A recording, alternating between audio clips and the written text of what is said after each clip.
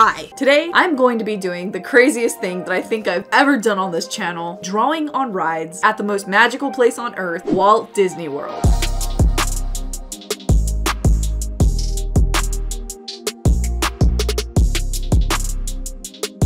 And I also have something secret planned for the end of the video, so you're gonna want to stay and watch. I don't think I've ever seen this been done on YouTube before, or ever, to be honest. So without further ado, buckle up, keep your legs and arms inside of the vehicle at all time. Let's get into it. Okay, guys, something very important just happened, and that is is that we are here at Magic Kingdom.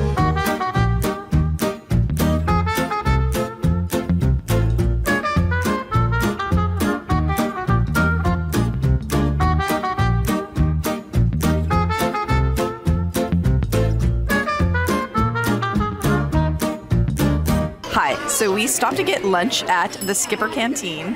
Instead of just like drawing in the park and then that be the end of the video, I thought it would be better if I went all over the park and picked the strangest places here at Magic Kingdom to draw and rated those strange places 1 through 10 on their drawability. Am I out of my mind? Maybe so. So the very first place that I'm going to start drawing at is Tom Sawyer's Island, located in Frontierland.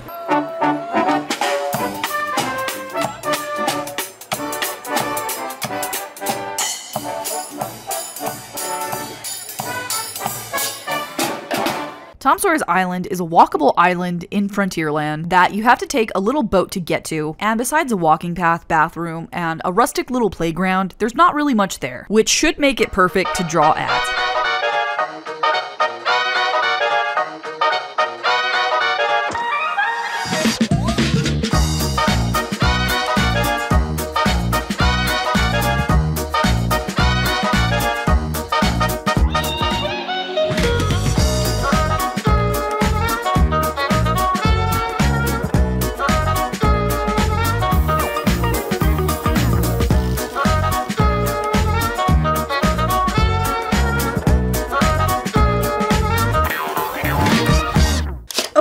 So here's what I drew. It's a drawing of the ride that's right across from it, Big Thunder Mountain. Drawing on Tom Sawyer's Island was actually like very peaceful. It was very zen. I was in the zone, enjoying myself, enjoying the calming breeze. The only thing I didn't like about Tom Sawyer's Island the entire time, I felt like an old time buccaneer fighting the elements. It was insufferably hot. I was sweating. I sat on an old wooden stump. At one point, I literally saw a straight up alligator like 10 feet away from me. Alligator right there, in the boat is going right towards it.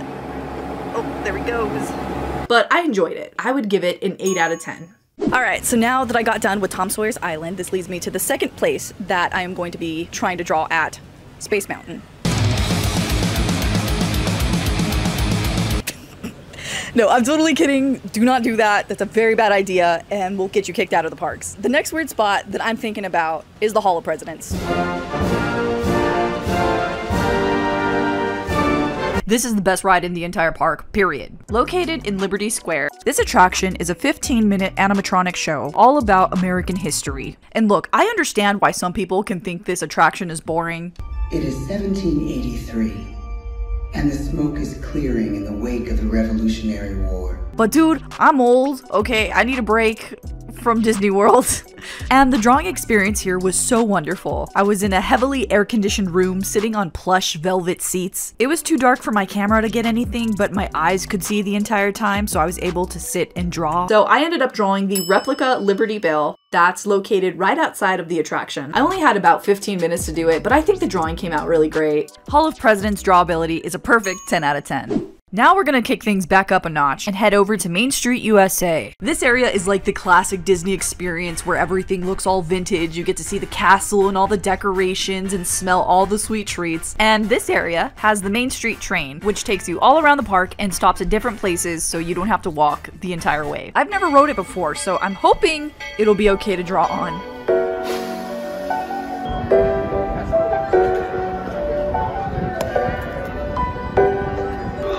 Here we go.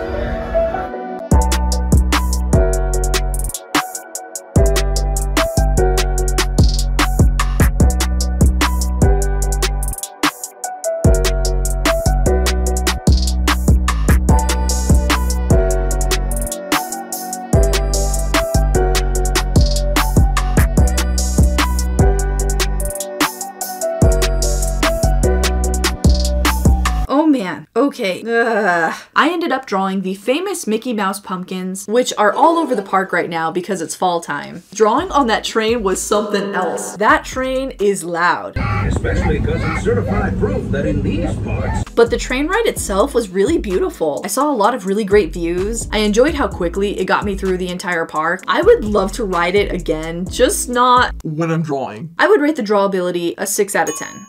Next up, I'm making my way over to Tomorrowland, which is themed to be in the future.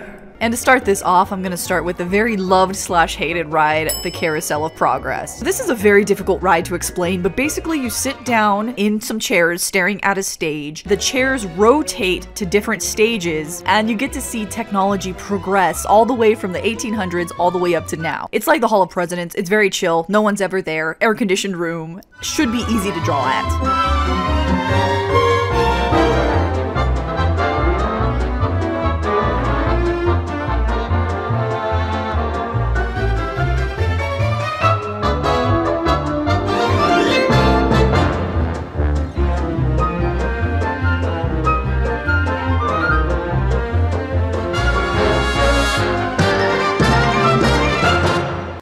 So this ride, I really didn't know what to draw because literally every six minutes I would be rotating to a different scene. I really had to put like my thinking skills to use when it came to this drawing. So I ended up drawing four pieces of technology that correspond with each time period of the show. So for the late 1800s, I have a stopwatch, the 1920s, an electric kettle, the 1950s, a vintage refrigerator, and for modern day, a laptop. Drawing on the carousel of progress, I would say that it was it was just okay. The scenes kept moving very quickly, and it got very dark at certain times where I couldn't see what I was drawing. And I just spent most of the time panicking on like, what am I gonna draw here? I only have like five minutes to do this. But yeah, I would say this was a very neutral drawing experience. It was dark, but it was very chill. Five out of 10. Now we're making our way over to Fantasyland, so I can try the interactive 4D Mickey Mouse musical themed show, PhilharMagic. And this show has everything. We're talking light shows, 3D glasses, surround sound, interactive ceiling and walls, a giant mega theater,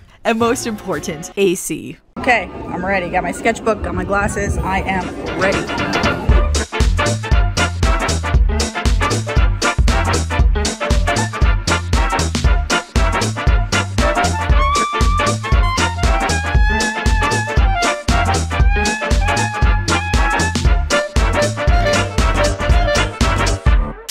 My gosh. I don't even know if I want to show this to the internet right now, okay? Here's what I drew for this one. I have a trumpet, a Mickey Mouse wizard hat, and a oh, second oh, attempted Mickey Mouse wizard hat. PhilharMagic was definitely probably one of my least favorite attractions that I did the entire time. It was very, very loud to the point where it was almost disorienting loud. The lights were not just normal lights, they were all like vibrantly colored lights. I'm talking full on red, full on blue, full on green. And not only that, but the lighting would just be constantly flickering off and on. So I'd be drawing, then it'd go dark. Drawing, then dark. And somehow that's more hard to draw in than just pure darkness. And then on top of all that, every time I looked down, the 3D glasses would kind of disorient my eyes. I could barely think, let alone whip out a drawing for you guys. For drawability, I would rate this one a 0 out of 10. Next, I'm making my way back over to Tomorrowland to ride one of my favorite rides, the People Mover. So, the People Mover is a calm, slow little cart that gives you a bird's eye view all around Tomorrowland. It whips you around different rides, restaurants, and gives you a little sneak peek of what's inside those buildings. All right, here we go, everybody. It's dark already. I hope I can draw something.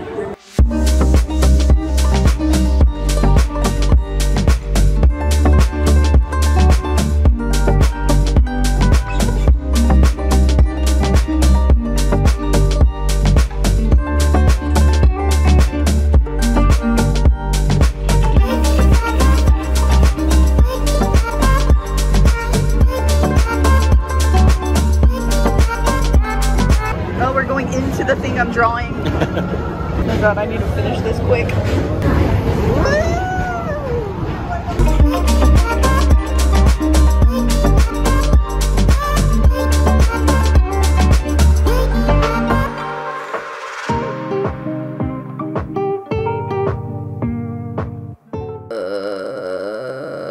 I drew the building that contains the ride of Space Mountain, which is such a pretty building, but I did not do it justice. As you can see, I was fighting for my life trying to make a straight line on this ride. I'm very conflicted for the rating for this one because on one hand, that was probably one of the most fun times I've ever had trying to draw something. It was so fun. But on the other hand, just when I would get my pencil position just right, I would be whipped off to the side. Even though the ride is maybe like 12 minutes, about a third of the time is spent in almost complete darkness. And because the people mover takes you on a big course, there's so much to look at. I had no idea what to draw because it was constantly changing. For funness, I'm gonna give this ride a 10 out of 10, but for actual draw ability, 1 out of 10.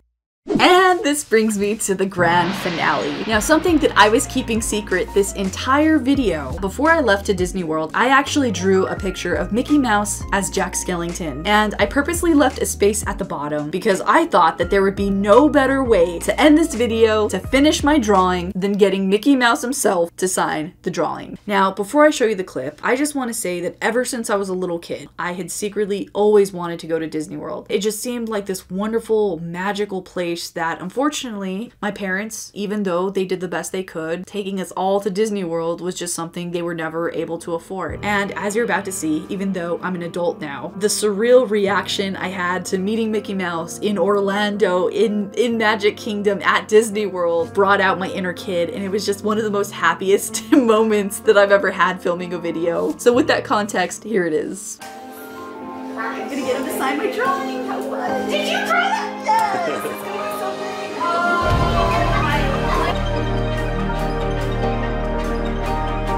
Thank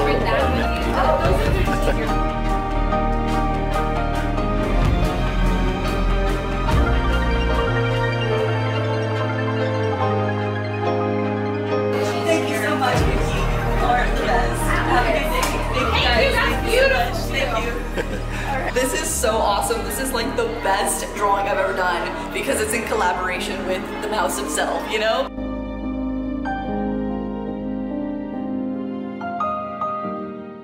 This is one of my most favorite drawings that I've ever done. It has so much fun memories attached to it. I would love to turn this into a series where I take my sketchbook to different places and take you guys with me. Ah, I can't stop smiling. My cheeks hurt. Ah.